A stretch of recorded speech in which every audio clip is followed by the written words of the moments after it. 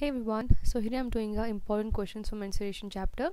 So I'm doing only four questions here, otherwise the video will be really lengthy. So these four questions are, are really important and they are four mark type of questions. So let's start with the first one.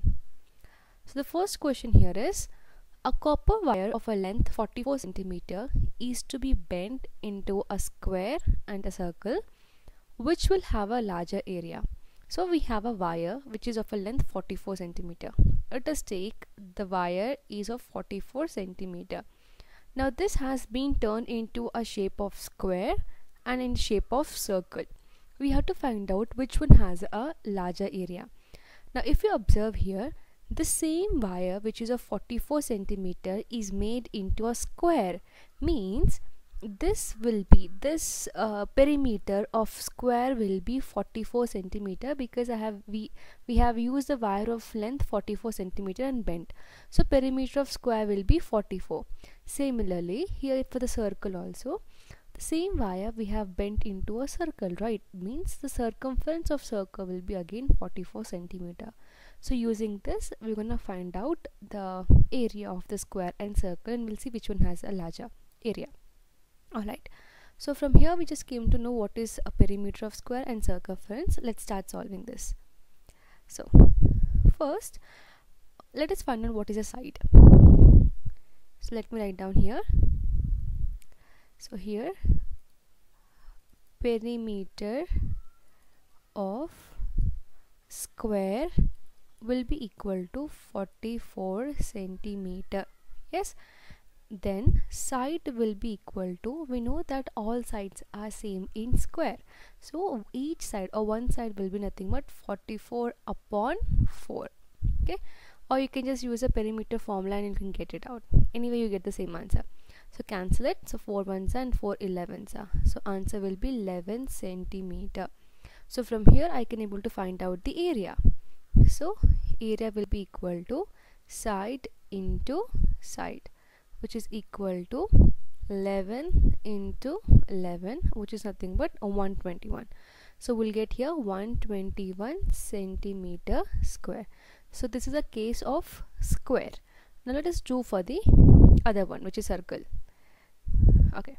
So here in the circle the circumference will be remain same. Circumference is nothing but 44 centimeter. So let me write down here. So circumference will be equal to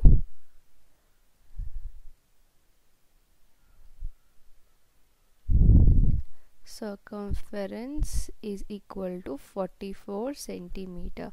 But we know circumference is nothing but 2 pi r yes? So 2 pi r is equal to 44 centimeter or just write down 44 I want to find the value of r from here.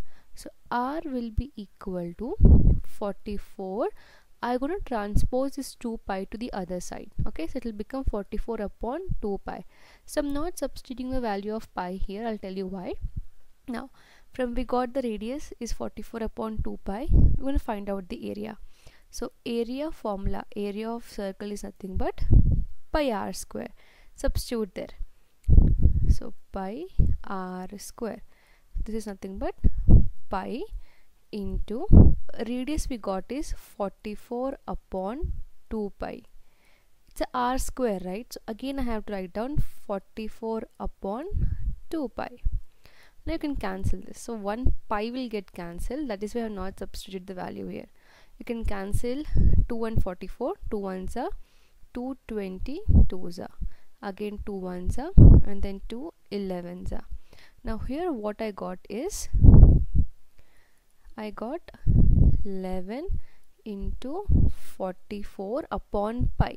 So pi value I'm going to substitute here is 22 upon 7 so 22 upon 7 you can cancel 22 and 44 or anything. So 11 ones are 11 twos are then 2 ones are then 2 22s are.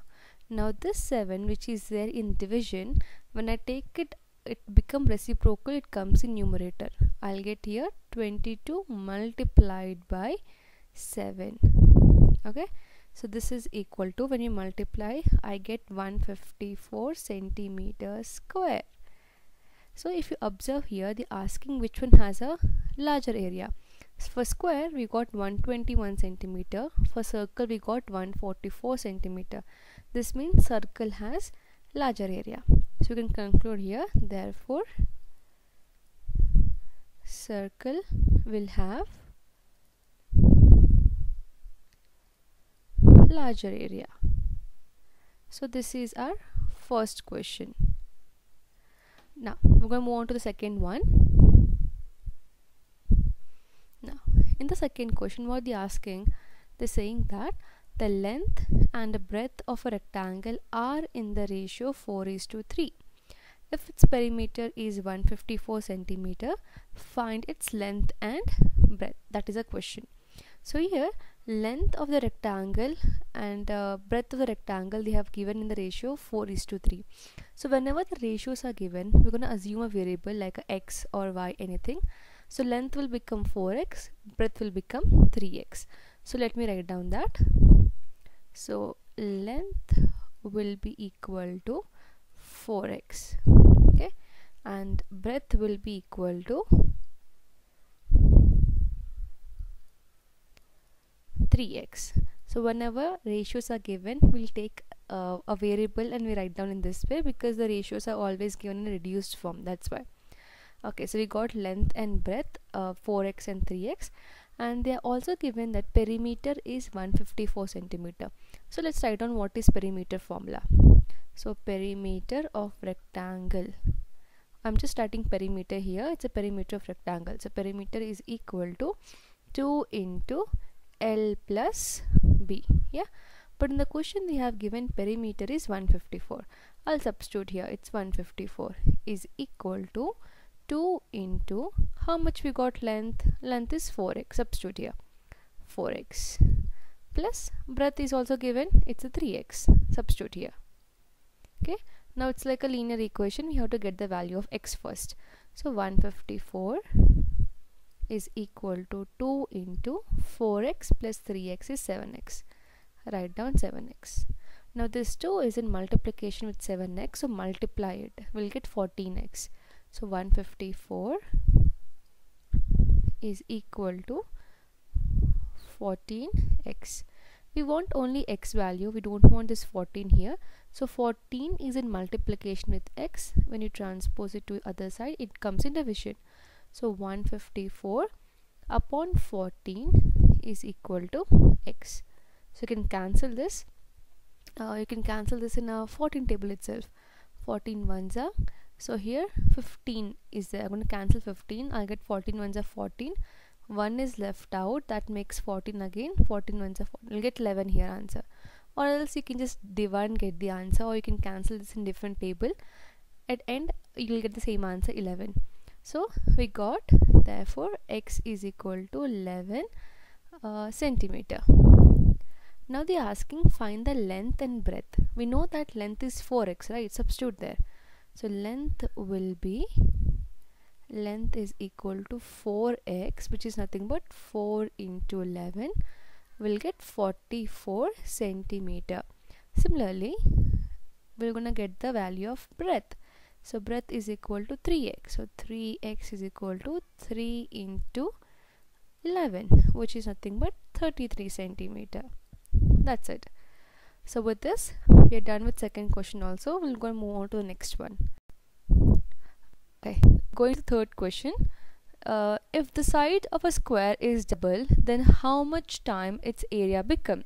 So in this question if you see they have not given any value. They just said that if the side is double or it become double then how the area will be how much area will increase. So here the side is not given. So let us assume that side is equal to x centimeter it's assumption here. So let me write down here. Let let the side be is equal to x centimeter.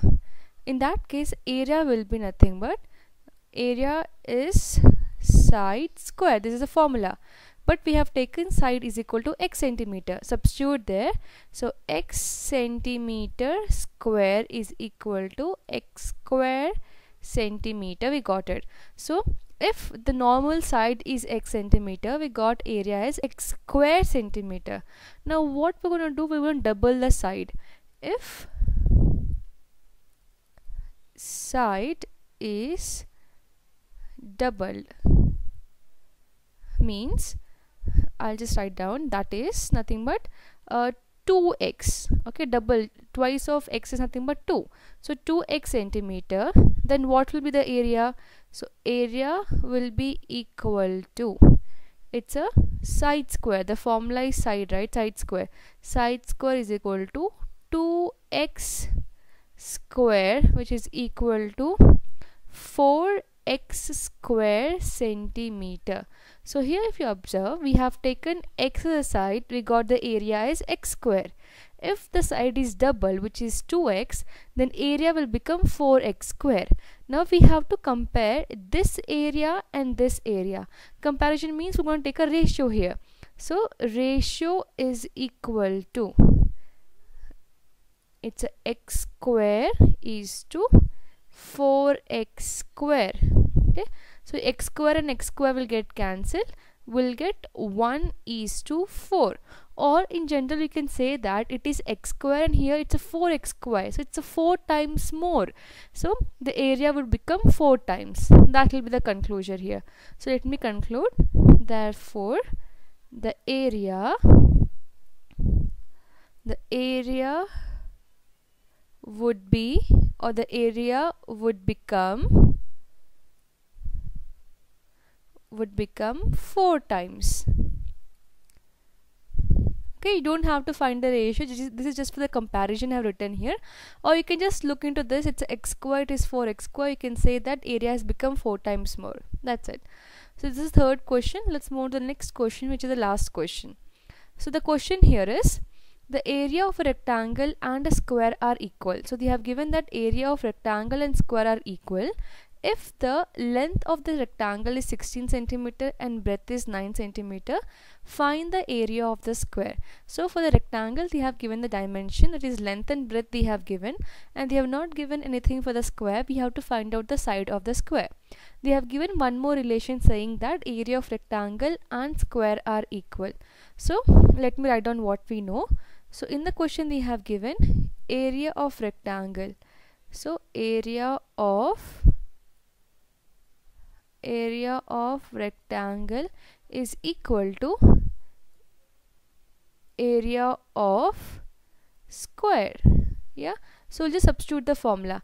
Area of rectangle formula is nothing but length into breadth. So length into breadth is equal to area of square is nothing but side into side. Or you can just simply write side square yeah? Now substitute the values here. Length they have given is 16 centimeter. So 16 into breadth they have given is 9 so 9 is equal to we don't know what is side so just write down side square. So 16 9 is nothing but 144 we'll get here 144 you can write down centimeter square. So in that case you have to put centimeter here also. Is equal to side square. Now here I want only the value of side. I don't want the squ side square. So if you remove the square here we'll get square root. So square root of 144 centimeter square is equal to side. Okay? We know that 144 is a perfect square. Square root of 144 is nothing but 12 so from here we can say side is equal to 12 centimeter. That's it so side of square is nothing but 12 centimeter. So that's it. We have done with all the four questions. They are important questions these questions are asked usually for three or four marks. I hope it's clear. In case you have any questions or doubt or if you have a specific questions you can just put it down in the comment. Thank you so much for watching